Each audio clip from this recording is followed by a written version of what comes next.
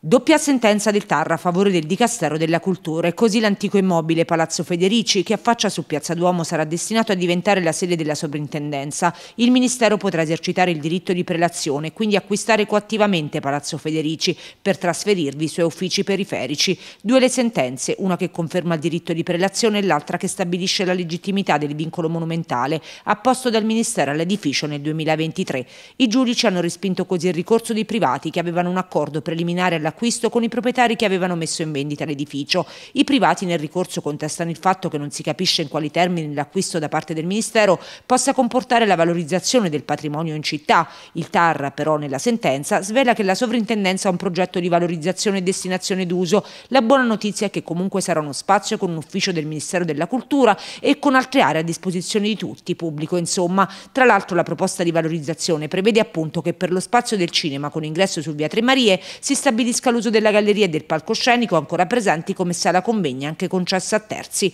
L'area espositiva ipotizzata inoltre su Piazza Duomo sarebbe uno spazio per raccontare il lavoro della sovrintendenza. Insomma, alla fine dei conti ci sono spazi per la città. Sulla questione del vincolo invece il TAR dice che ci sono molti edifici in cemento armato all'Aquila, ma non per questo non è uno stabile meritevole di tutela. I privati a questo punto potrebbero però rivolgersi al Consiglio di Stato come ultimo passaggio.